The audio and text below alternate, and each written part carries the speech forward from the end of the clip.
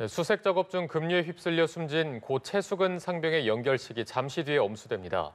최 상병은 연결식이 끝나면 국립대전현충원에서 영면에 들게 됩니다. 네, 현장에 나가 있는 취재기자 연결해 자세히 알아보겠습니다. 김영민 기자.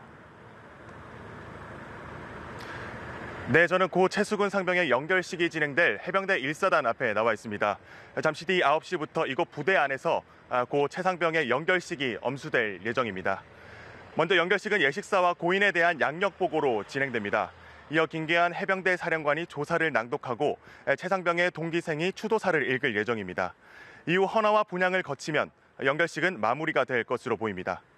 연결식에는 유가족과 해병대 장병 등 800여 명이 참석할 것으로 알려졌습니다. 해병대 측은 10시쯤이면 연결식이 모두 끝날 것으로 예상하고 있습니다. 연결식이 종료되면 화장 절차를 거쳐 국립대전현충원에 안장될 예정입니다. 안장식이 거행되는 동안 국가보훈부를 포함한 전국 지방보훈관서와 국립묘지 소속 공공기관에는 조기가 개항됩니다. 순직 군인이 안장일에 보훈부 소속 기관에 조기를 개항하는 것은 이번이 처음입니다. 순직한 최상병은 어제 보훈 보, 보국 훈장이 추서됐습니다.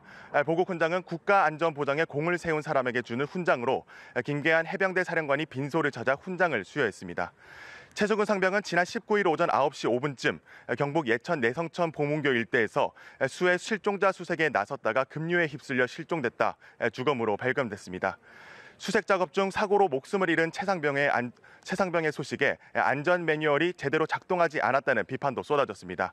물살이 빠른 하천에서 최상병의 동료 대원들이 인간 띠를 만들어 실종자를 수색했는데 구명조끼만 지급됐어도 사고를 막을 수 있었다는 지적이 나옵니다. 해병대도 최소한의 안정장치 마련에 소홀했다는 점을 인정하고 유족에게 위로와 사죄의 말을 전했습니다. 아울러 해병대는 예천 구조 현장에 투입된 부대를 상대로 사건의 진상 파악에 나섰습니다. 지금까지 해병대 1사단에서 연합뉴스TV 김영민입니다.